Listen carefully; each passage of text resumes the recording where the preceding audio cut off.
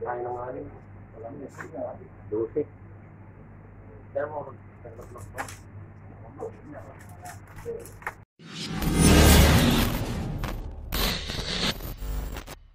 Guys, good evening. Ayan. Nandito tayo sa ating hotel. At naligo lang tayo saglit. At si Kuya matutulog na. Lalabas muna tayo saglit dahil gusto ko ma-explore dito yung sa labas. Kung anong meron dito sa Norway. Kahit dito lang sa around sa lang sa hotel. So, samahan nyo. Tara, ikutin natin. Ayan.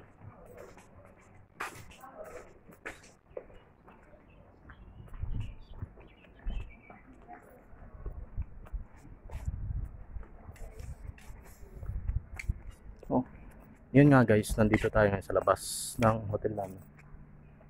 So, yung mga kasama ko natutulog na. Pero ako parang parang hindi ako nagbiyahe ng matagal.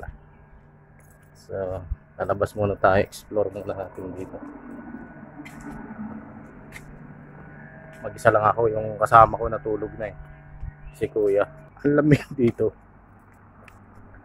Oras na is 8.30. Ang lamig-lamig. 8.30 na ng hapon.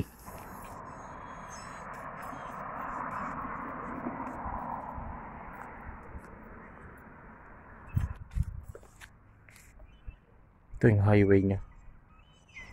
Nakaka-boring din pala kapag mag-isa ka dito, no?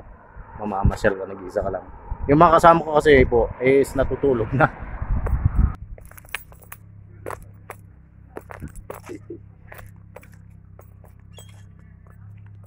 Okay.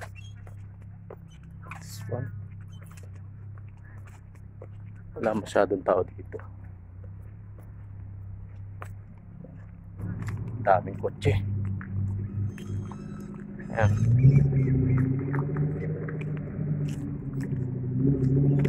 Sports car. Grabe. oh.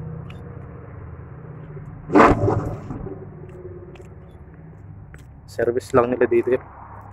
Ayun nga guys, in-explore natin dito yung area. Malapit lang dito sa hotel. Lalakad-lakad lang kami.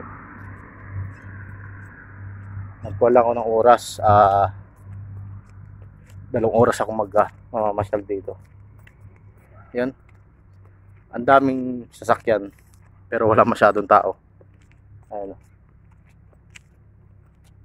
Ang gaganda ng mga sasakyan dito. Umapit yung ibon. Okay ah. Land Rover.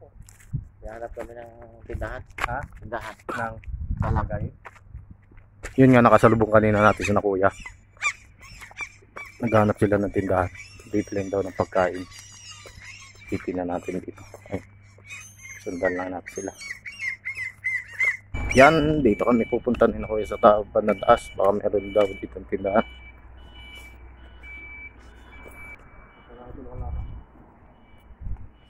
Napakalinis ng kalsada dito. Mga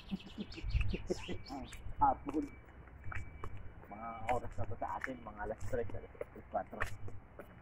Nang hapon ko yan, no? Ah, dito, anong oras na? Alas 3 na. Lamig na.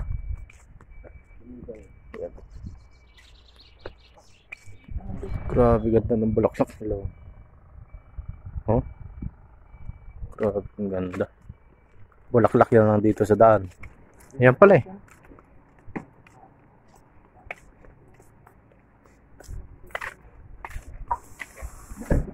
Grocery. Ito. Okay. Ito palang bili. Yan. Okay. Hmm. 20. Ito palang bilihan dito. Soft drinks. Mais. Hmm? Mais. Dito kami sa grocery store. Titingin ng alak si na kuya. Malaki ang grocery store dito. 7-Eleven lang to sa Pilipinas pero ang laki. Kompleto na sila dito. Ayun, sa kabila.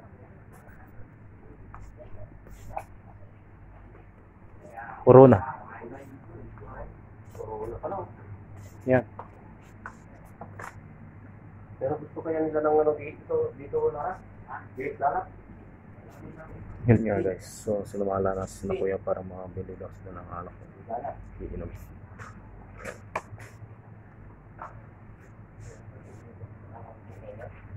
Sakto yan. Anim na piraso. At tulog. Ano magkano sa? Ayan, 29. Ah, 59. Kasi 50. Na hindi ka pwedeng bumili dito ng. Hindi local na pera nila.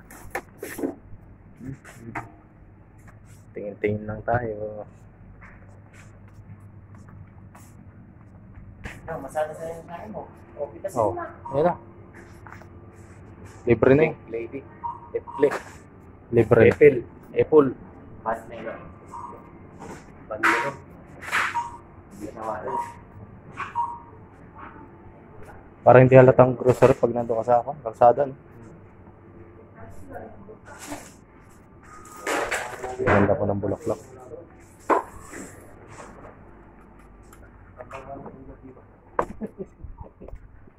Ayun nga si ate, kalalabas lang ng hotel. Nandito sila oh.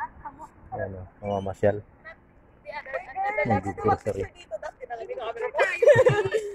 Ayan oh. Ano no, nice Ito yung, ak- ito yung akala ko, ano, burger, ano. Ano madam mo? Grocery. Bili. Ah, ayun pala. Oo, medyo Ay, ano naman, tago. ano? Ah, parang kwan siya. Restaurant. Ayan. meal. Ay, ano yung meal on meal? Gusto ko yung mura. Burger. Burger, siguro. Dami kong stock doon, pagkit kanton. Ah, bibili mo pa diyan pa.